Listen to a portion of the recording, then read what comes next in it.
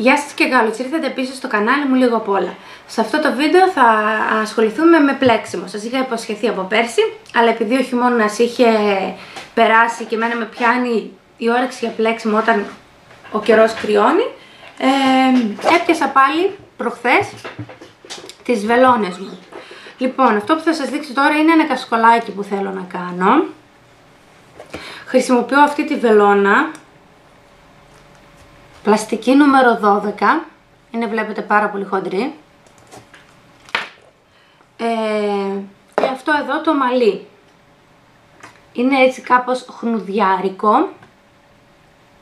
Έχει μέσα μοβ, πράσινο, έχει λίγο ανοιχτό χρώμα, έτσι αυτή η ποιότητα. Πέρασα στη βελόνα μου μία, μία, δύο, τρεις, τέσσερις, πέντε, έξι, εφτά, οχτώ, εννέα, δέκα, έντεκα, δώδεκα, τρία, δεκατέσσερα, δεκαπέντε, δεκαέξι, δεκαεφτά, δεκαοκτώ, δεκανιά, δεκανιά θηλιές.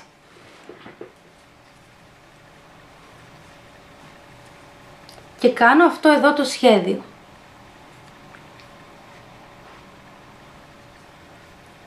Είναι αυτό το τρι, τρυποτό, αν το τεντώσω γίνεται βλέπετε έτσι.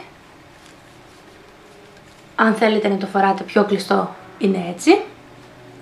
Και τώρα πώς πλέκουμε αυτό το σχέδιο; Αυτό που ακούτε να ουρλιάζει, να κλαίει από πίσω είναι η Βικτόρια που κλαίει γιατί ο Παντελής την άφησε απ' έξω καθαρίζει μόνο στο μπαλκόνι και δεν πάνε την ανοίξει. Λοιπόν, τέλος πάντων, εγώ βάζω πάντα έτσι το μαλλί γυρνάω εδώ έτσι την κλωστή για να έχω έλεγχο. Και εδώ. Ή μόνο εδώ ας πούμε. Ανάλογα σε ποιο δάχτυλο σας βολεύει να πλέκετε. Εγώ το κάνω αυτόματα δεν, ε, δεν ξέρω ας πούμε πως το κάνω. Ανά, έτσι το κάνω, στο μεσαίο το βάζω. Και η πλέξη είναι ως εξής. Αυτή είναι εδώ η συγκεκριμένη. Λοιπόν πως γίνεται αυτή είναι συγκεκριμένη, είναι πάρα πάρα πάρα πολύ απλή πλέξη. Λοιπόν, την πρώτη την παίρνουμε άπλεχτη. Ναι. Λοιπόν, ρίχνουμε μια θηλιά και μετά παίρνουμε και πλέκουμε δύο μαζί. Τις δύο επόμενες μαζί. Τις δύο θηλιές. Παιδιά, λίγο γιατί δεν μπορώ να πλέξω τόσο μακριά από μένα, εγώ πλέκω κοντά. Πρέπει να σας το δείχνω όμως. Λοιπόν, πλέκουμε τις δύο επόμενες μαζί. Είναι λίγο δύσκολο γιατί αν πλέκετε σφιχτά όπως εγώ, η δεύτερη θηλιά, λίγο δύσκολο να την πάρετε, αλλά καθίστε λίγο να την πάρω.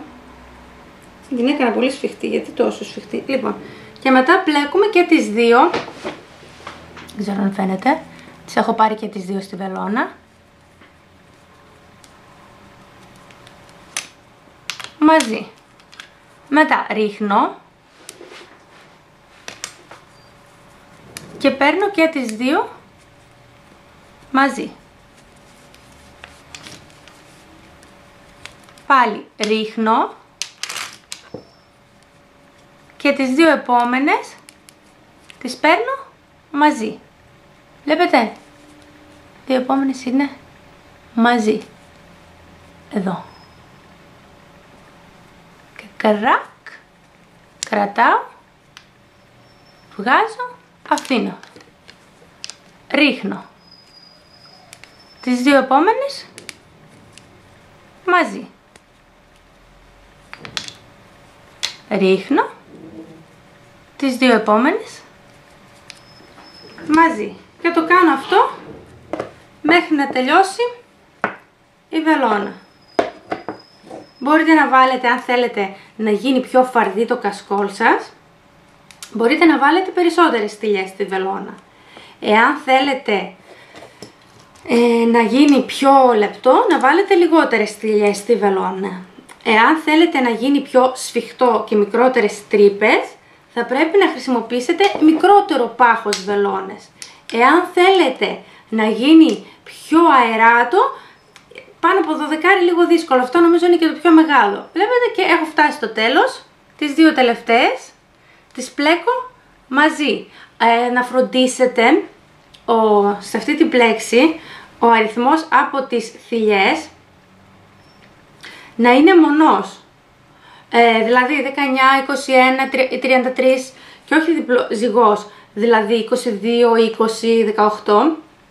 Βλέπετε να το, το σχέδιο, γιατί αν, ε, πάντα μετά θα σας περισσεύει μία και δεν θα μπορείτε να παίρνετε τις δύο τελευταίες μαζί. Και, αν, και συνεχίζοντας έτσι, όλο αυτό το μαλάκι θα μου βγάλει περίπου ένα ωραίο χασκολάκι. Τώρα αυτό εδώ μετά μπορούμε να το βάλουμε κρόσια, μπορούμε να το κάνουμε ό,τι θέλουμε, μπορούμε να το κρατήσουμε και έτσι. Ε, στην πραγματικότητα δεν θα είναι τόσο τεντωμένο το χασκόλ. Θα έρχεται κάπως εδώ, σε αυτό εδώ έτσι. Αυτό εδώ το πάχος θα έχει. Ε, ό,τι απορίες θέλετε, να σας δείξω μια άλλη πλέξη. Ε, μπορώ να το κάνω ή να σας δείξω πώς φυλάκουμε την ίσια, πώς φυλάκουμε την ανάποδη, αλλά μην μου ζητήσετε σε καμία περίπτωση να σας δείξω πώς περνάμε θηλιές στη βελόνα, γιατί δεν ξέρω ακόμα να περνάω θηλιές στη βελόνα, βάζω τη μαμά μου και τη γιαγιά μου να τις περνάνε. Είναι εύκολο, είναι πολύ εύκολο, αλλά για κάποιο λόγο βραχικυκλώνω. Αυτό ήταν το μικρό βιντεάκι με το πλέξιμο για το πώς να κάνετε ένα απλό κασκολάκι. Θα σας δείξω και άλλα βίντεο με άλλα κασκολάκια που κάνω ενημερωτικά. Θα σας δείξω μερικά ε, που έχω ήδη αρχίσει και τα έχω εδώ δίπλα μου και τι σκοπεύω να κάνω στο καθένα. Αυτό είναι ένα απλό πλέξιμο με αρκετές δουλειές που σκοπεύω να το κάνω γυλαικάκι, είναι κόκκινο έντονο, ε, κεραμιδί. Με, τώρα έχω βάλει υπερβολικό exposure στην κάμερα για να φαίνονται πιο φωτεινά ε, και δεν μπορείτε να το δείτε. Εδώ κάτω είναι, όχι λάστιχο, είναι ένα σχέδιο που κάνουμε κάτω, δεν θυμάμαι πώς το έκανα αυτό, με τη βοήθεια της γιαγιάς μου το έκανα αυτό πέρσι, αλλά αυτό είναι το απλό. Είναι η μία ίσια σειρά, μία ανάποδη. Μία ίσια, μία ανάποδη και από πίσω είναι, αυτή είναι η πίσω η πλευρά του. Αυτές είναι βελόνες νούμερο 7 και το μαλλί είναι αυτό εδώ. Και δεν, δεν, είναι, δεν είναι μαλλί, είναι νομίζω ακριλικό, τέλος πάντων. Μετά έχω ξεκινήσει ένα πέρσι που δεν το τελείωσα για τα Χριστούγεννα με βελόνες νούμερο 10. Αυτές είναι μεταλλικές, διαφορετικές. Ε, αυτό εδώ είναι ίδιο στυλ με το προηγούμενο που σας έδειξα. Βλέπετε, άλλο μαλλί, άλλη βελόνα, εντελώς διαφορετικό τελείωμα. Ε, αυτό εδώ στραφταλίζει, βλέπετε. Έχει δηλαδή δύο ειδών μαλλιά. Έχω εδώ δύο, δύο ειδών κλωστές. Βλέπετε, πλέκω με δύο κλωστές. Με μία απλή κόκκινη και με μία χνουδωτή γελιστερή κόκκινη που είναι έτσι πιο χριστουγεννιάτικο και στραφταλίζει. Και αυτό θα γίνει κασκόλ. Μετά με ακόμα πιο λεπτή βελόνα, εδώ έχω κάνει, έχει βγει το, από τη βελόνα πίσω και πρέπει να το βάλω, είναι ένα τεσάρι βελόνα, το να είμαστε λίγο προσεκτικοί. Αυτό είναι χρώμα χακί, είναι το λεγόμενο ribbed, δηλαδή είναι αυτό εδώ το διπλό, αυτό το σχέδιο, μπορώ να σας το δείξω και αυτό το σχέδιο. Πρέπει να κάτσω να θυμηθώ πώς το κάνω βέβαια. Αλλά αυτό είναι πάρα πολύ ωραίο σχέδιο γιατί και η μπροστά η μεριά και η πίσω είναι ακριβώς το ίδιο. Είναι πολύ ζεστό και είναι πάρα πάρα πολύ όμορφο πιστεύω για κασκόλ και για σκουφάκια και για τέτοια. Και δεν είναι και, δεν είναι και δύσκολο, είναι εύκολο.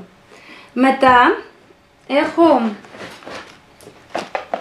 ένα ακόμα αρχι, αρχι, πώς να το πω, που έχω αρχίσει και δεν έχω τελειώσει.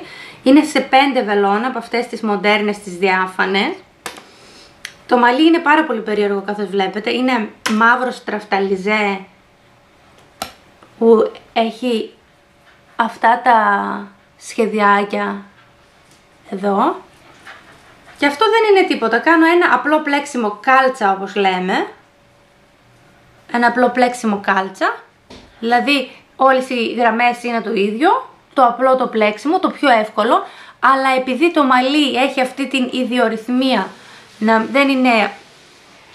κάνει αυτό το σχέδιο και είναι για ένα επίσημο, ένα πιο έτσι σάλι, μπορείτε να το κάνετε, να το κάνετε ένα κασκόλ επίσημο, εξαρτάται. Παντελή ξέρεις ότι τραβάω βίντεο, ε; Τέλος πάντων αυτά ήταν, πείτε μου ποια σχέδια θέλετε να δείτε, εάν θέλετε κάτι συγκεκριμένο, να έχετε στο μυαλό σας να πλέξετε κάτι και θα επανέλθουμε σε άλλο βιντεάκι. Τα λέμε. Γεια σας!